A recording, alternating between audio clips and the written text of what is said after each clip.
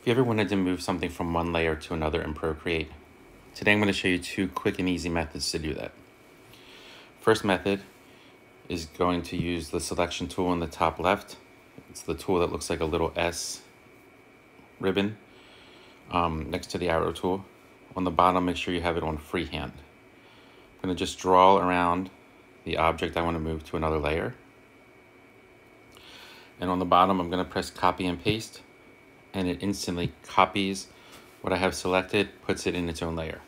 But as you can see from the thumbnail, it's still on that original layer. So I'm going to uncheck the new layer, go to the original layer, and take my eraser.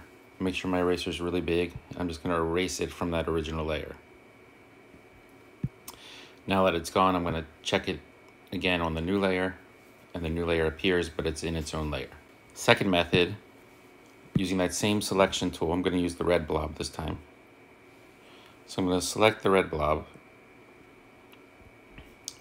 go to the wrench in the top left corner, and under add, I don't know why this is under add, but it's under add, I'm going to say cut because I'm actually subtracting when I cut. So I'm going to say cut.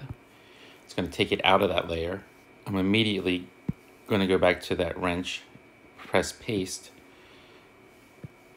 and it will add what I just cut back to the image, but in its own layer.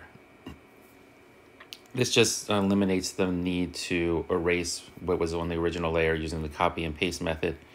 It cuts it out automatically for you, puts it on its own layer when you say paste. So that's two methods for moving part of your image to a new layer. Hope you found this video useful. Thanks for liking, subscribing, and I'll see you next time.